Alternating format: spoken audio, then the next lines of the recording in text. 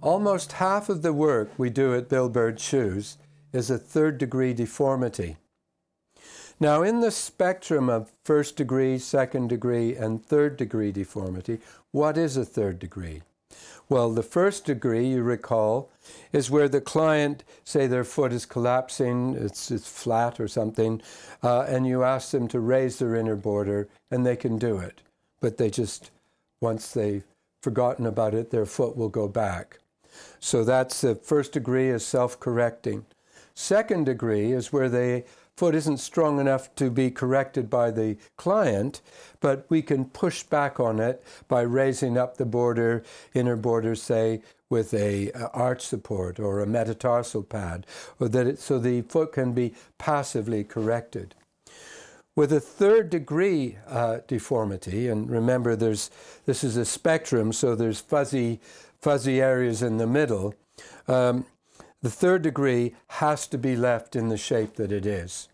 The foot has become fixed in that shape for whatever reason, and any attempt to change that shape will be painful. Sometimes you can have somewhere where you can correct the foot a little, but you'll never get it back to the way it should be, and that's still a third degree deformity. So, where does a third degree deformity come from? Well, there are four general areas that we've identified as the uh, source of a third degree deformity. The first is a congenital deformity. So it's be something like this foot, which is a talipes. Uh, the foot was bent in, out of shape in the mother's womb, and when the child was born, this was the shape that, it, that the foot came out in. Nowadays, we can correct a lot of that with splinting and things.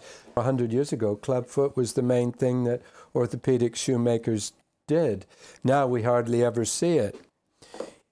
Here's another example of a congenital deformity where somebody is actually born with this huge elephantine leg, which is um, uh, absolutely massive and, and actually so massive it doesn't function. So literally, we're just holding the whole leg together with this boot. Again, a, con, uh, a congenital or from birth deformity. So you're beginning to get the huge variety of shapes we're seeing here. Another uh, source of third degree deformities are road traffic injuries and industrial in injuries such as this shoe, which looks relatively normal, but actually you can see the massive uh, shape in here where the foot has been uh, crushed and injured. And so what we have to do with this shoe is uh, hold the foot in the shoe in the shape it is, and then get the shoe to rock rather than bend, because any movement of the foot is painful. So that's a road traffic injury direct to the foot or we can have an industrial or road traffic or other injury to the leg above the foot, uh, which leads to a leg length discrepancy or difference. And that is something that we do a lot of. In this shoe, for instance, you can see we have a cork inside that's hiding about 15 millimeters of difference. And if in, that was in a shoe, you wouldn't see it at all.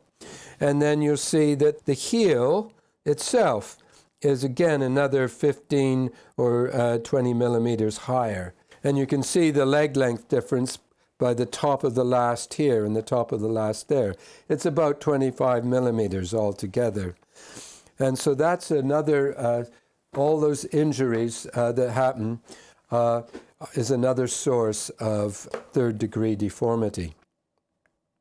And then there's a whole set of deformities that are acquired over time. Call them wear and tear deformities, if you like, where you get bunions developing or swollen joints. You get toes that are retracting and hammering, or the foot becomes flat, or you get a tailor's bunion on the outside. Again, a huge variety of shapes can arise, and they need to be accommodated. And if you look at this shoe, Underneath is a soft kid. The bunion will protrude out, and we simply deal with it by covering it with a nice little tie applique that attracts the eye to the applique so that that's what you see. You don't see what's going on underneath. One of the biggest sources of third degree deformity is systemic disease, such as polio. It's very rare now, but many of the people who are now in their 60s and 70s contacted polio uh, in the 1950s epidemic when they were two or three years old. And that can leave huge permanent deformities. Rheumatoid arthritis can show up any time after the age of 15 to 20 uh, and can stay with a with a person keep as a live disease for decades. You can see this lady, a young mother of two, and you can see how this from the inside the shape of her foot, not so apparent from the outside, but this shoe, and this is about the third or fourth pair she's ordered, has just transformed her life. She can have something that, given the shape of her foot, is actually looks reasonably normal. And when people glance at her foot, they just see a strap court shoe. They don't actually see the huge bumps and distortions that are going on there. Diabetes is becoming increasingly common, particularly type 2. In fact, we're even seeing type 2 diabetes in teenagers these days, whereas it used to be called late on onset and didn't show up till people were in their 40s. And diabetes has huge consequences on the foot. It can cause fragile skin, which we've seen elsewhere. It can cause anesthesia, which we've talked about elsewhere, in other words, an anesthetic foot. It can cause circulation problems, and it can also cause what's called a Charcot foot, where the foot entirely collapses. Now, the reason, say, for instance, 60% of people with a size 6 foot can walk into a shop and buy a size 6 shoe and it will fit them is that that 60% of people with a size 6 foot who can just wear a size 6 shoe are more or less healthy. A healthy foot is very similar to another healthy foot of the same size.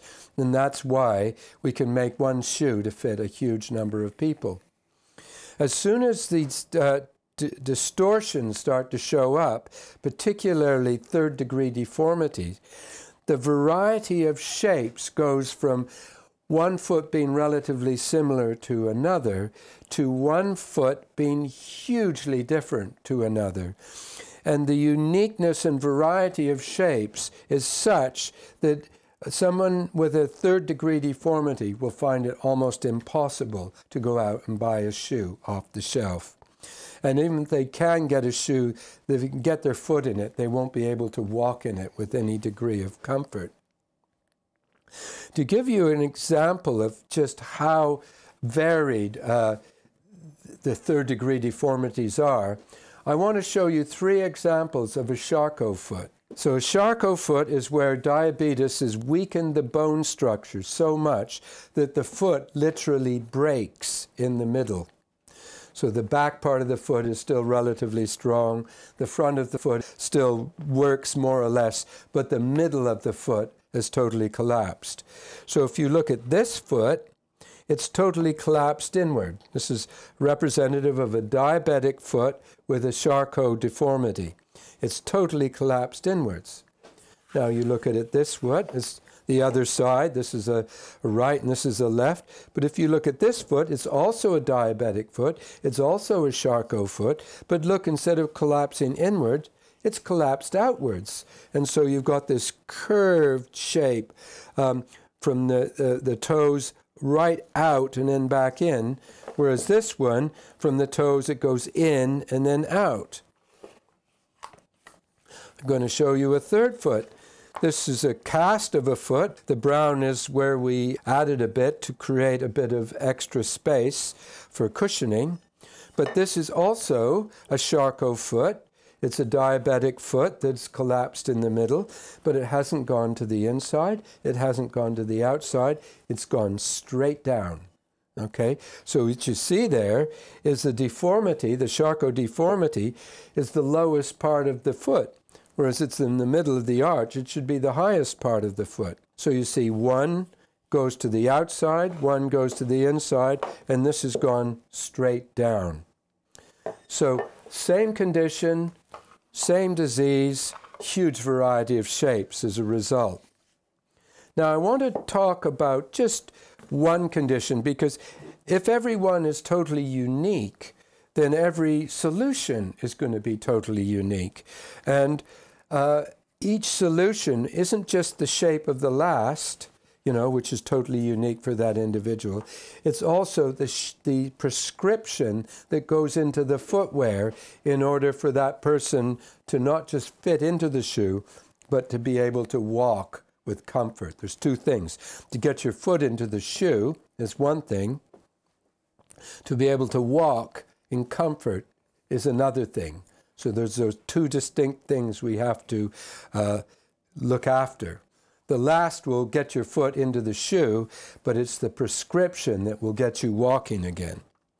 So if we look at this individual, this is his sandals. He's worn them. They've come back for uh, repair twice now. Uh, he lives in these in the summer. Here's the cast of his foot. Underneath this joint, it's very, very soft and you know kind and really, really deeply embedded in. Back here, it's almost like a platform that his heel can stand on. So when he puts his foot on, all the way, 80% of the weight bearing is through the heel. You can see that. 80% of the weight bearing is through here. Maybe 18% of the weight bearing is in front of the distortion on here. And of course, when at heel lift, it all comes on and the foot rolls off and he takes a step.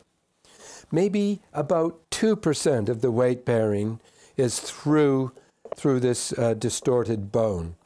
And the reason we want 2% there is we don't want to break the foot completely by supporting it there and supporting it there and letting it drop down here. Okay, so we've got to give some support there. And so we've got to find a balance between enough support to stop his foot uh, dropping down and breaking further and it being painful and actually causing an ulcer. Of course, because having diabetes, fragile skin, so not only have we got really distorted bones projecting out, but the skin is so fragile that one wrong move and you've created an ulcer and have the potential for amputation. Okay, so that just shows the huge amount of thinking that's gone into every single element. Here's a different shoe, but it's the same man.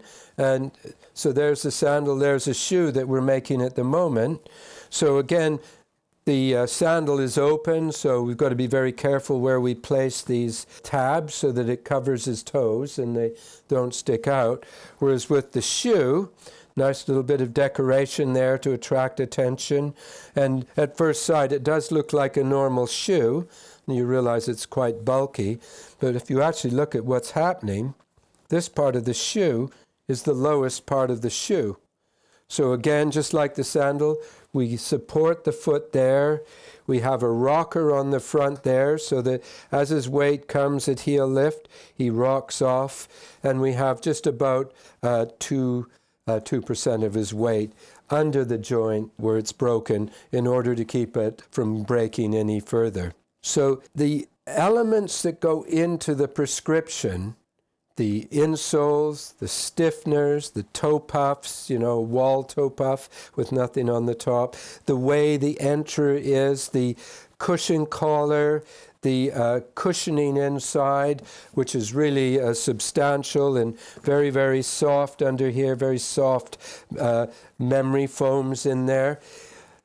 That huge complex of prescriptions has to be right all the way through. And if one element is wrong, then, it, then the whole shoe won't work. Uh, so this is a very, very complex uh, process uh, and can only really be done by bespoke orthopedic. The alternative is person will be in, in a wheelchair. So uh, very, very difficult to get right. And often we have to take it apart and try different paddings and different styles uh, in order to get it to work. But once it does work, it's very satisfying because we're actually making a huge difference to somebody's future, transforming their future into being one in which they can walk with relative ease, relative comfort, and uh, rejoin society.